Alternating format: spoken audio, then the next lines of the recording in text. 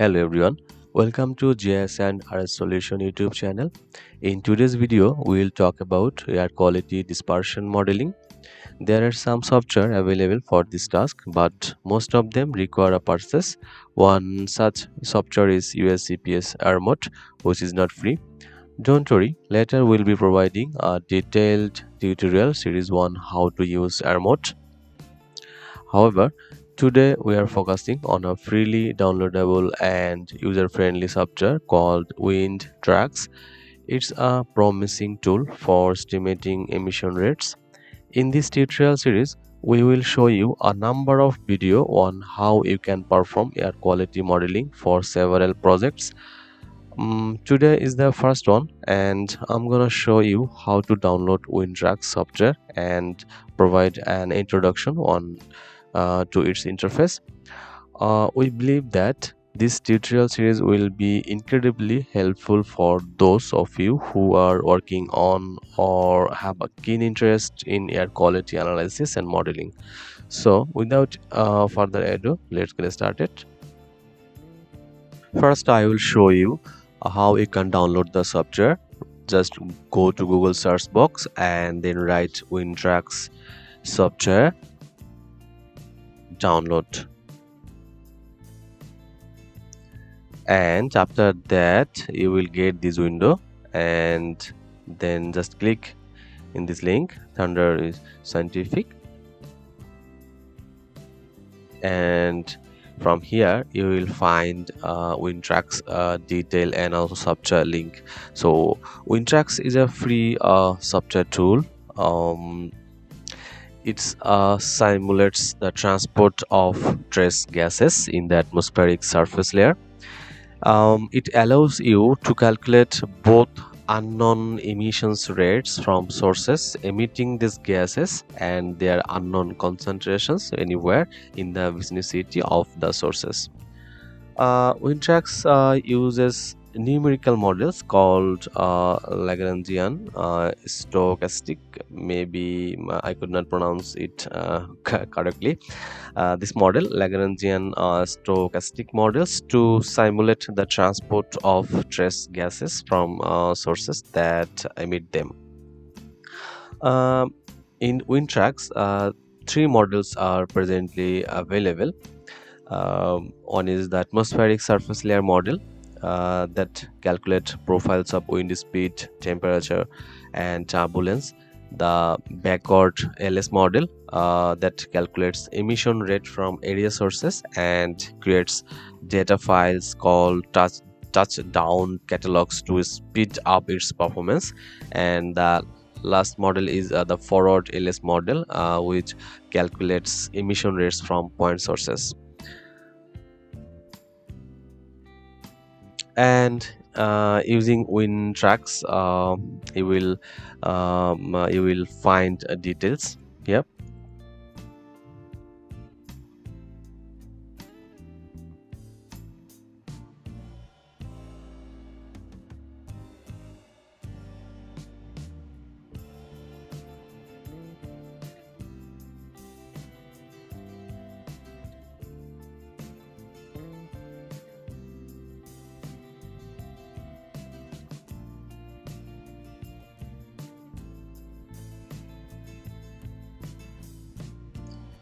and uh, it is uh, free. WindTrax is available at no cost. You can download uh, installation file from these websites. So click here. And there are two versions WindTrax 2.0 and WindTrax 1.0 patch so I will download the latest version. And also WindTrax introductory manual. You will find here to manual. So uh, I'm, I'm, I'm downloading WindTrax 2.0 so it has been already downloaded. So go to the downloaded folder and then just uh, install this software. Right click and run as administrator. This uh, this will install WindTrax 2.0 and do you wish to continue? So yes. And uh, license agreement. I accept the agreement. Check this option then click next and next next.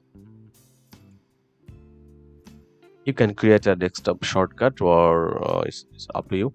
Uh, then uh, click install. So run WindTrax then click finish. Finish. Here is the uh, software interface. So first uh, grid scale. The first step in creating a simulation is to set up uh, the map grid scale. This will determine the placement of everything else on the map. So how you can do this? Go to edit and uh, edit and click grid here. So it's the grid scale map grid. You can change the scale um, and unit as well and then click ok. This yeah. And how you can move uh, map origin the grid origin can be moved by clicking the grid tool and dragging the symbols to another uh, location. So for that go to edit and click here and you can move uh, the map origin from here. Yeah in this process. And not indicator in some cases you might wish to change the uh, change the compass uh, orientation to do this double click on it, it, with it and the mouse so double click and uh, you can change the map orientation angle and then click ok. Yeah you can see here the map angle has been changed. And surface roughness uh, select the surface roughness length by double clicking on the map background. So uh, on the surface double click. And here you can see surface data uh, roughness uh, you can change the description and yeah and here also you can change the temperature in uh, several format. Temperature celsius kelvin uh, yeah elevation also surface elevation.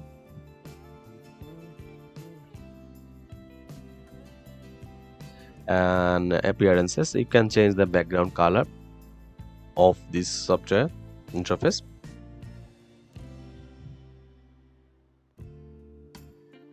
Yes and then click ok and anemometer uh, set the wind speed and direction by double clicking on the anemometer. So for that uh, go to sources um, i mean sorry sensors and then click here the first uh, icon anemometer. And double click here you can change the uh, name uh, location height uh, yep location uh, yep. Also uh, uh, if you go to the platform you will see here you can change the properties from here height let long yep sensor. You can add sensors here. You will find here several options sensor type.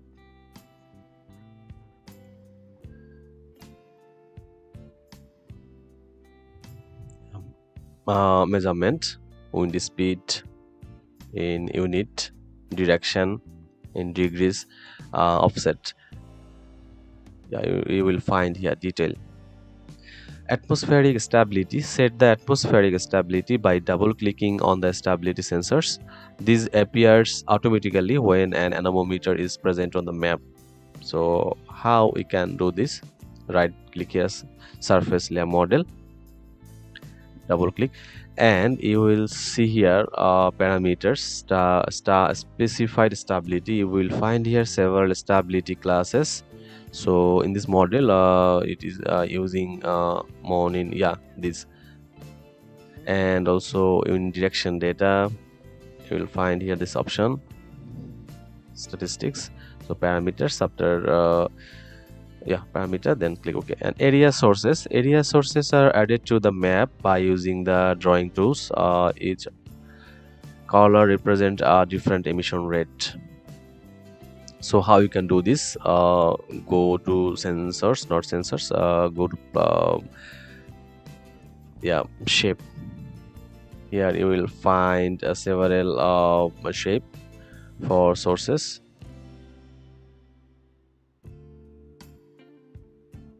yeah but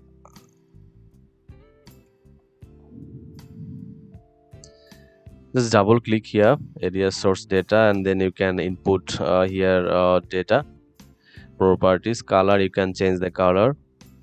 And you can also uh, rename the name rename and type uh, grid angle in a belt area uh, several options and spaces. And here uh, the gases select the gases that you uh, need that you will perform for your study.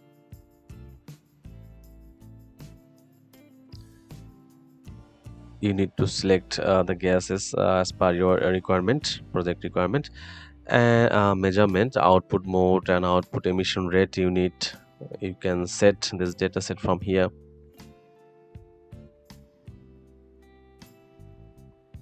unit. And after setting uh, all uh, then uh, click ok. I'll show you details in the next tutorial. I mean uh, when I will uh, perform a complete project. This is just a interface overview. Anyway for another sources you can check and you can set the measurement and gases. And you have to change the color for uh, uh, different sources. And a line sensors is added to the map uh, by selecting the tool pressing the mouse down dragging it to the end location and uh, releasing. For that go to sensors and uh, yeah. Yeah. And how you can uh, set properties? The properties of the sensors can be specified by double clicking on it with the mouse. So double click here so line source sensor data uh, you can see here properties start height end height.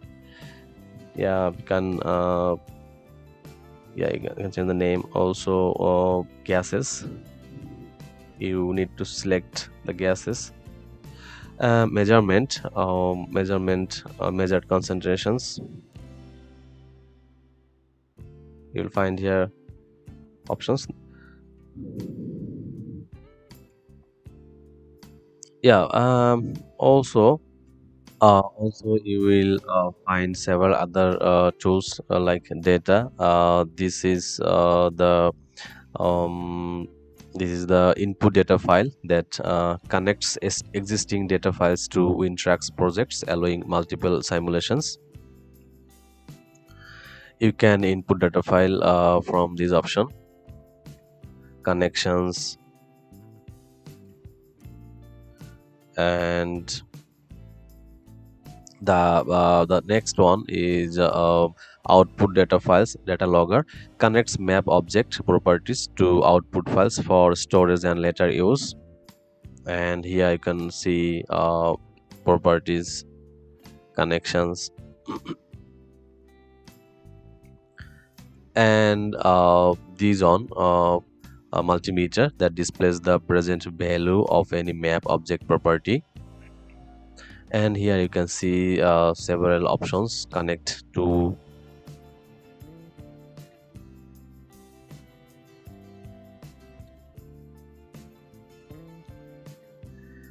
and uh, mm, camera uh, stores screen captures to a series of output image files for use in assessing the validity of a given run yeah see uh, you can see here uh, several uh, data storage type jpg bmp i mean uh, file format and so many things.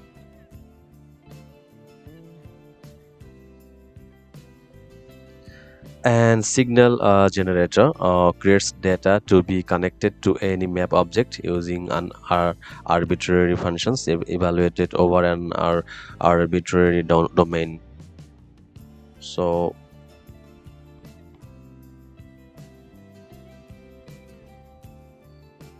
you will find uh, several uh, options here.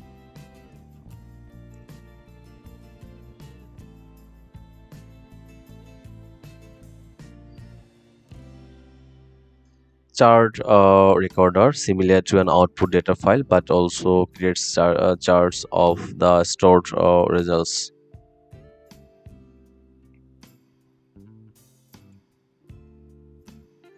A real-time COM server allows WindTrax to be controlled by external programs uh, through the standard COM object interface. So you will uh, find details uh, in, in some uh, several videos which I will uh, mm, upload later. And this is a point source. You can you can add point source data from here you will see here properties you can change the point source name uh, location height and uh, unit and several other options here. And you can select gases from here. And also uh, measurement source output unit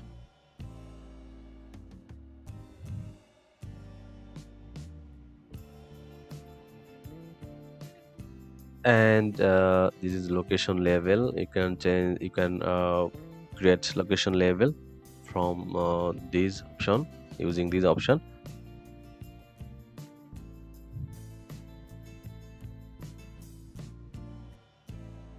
And uh, this is maybe text bar. You can add text text box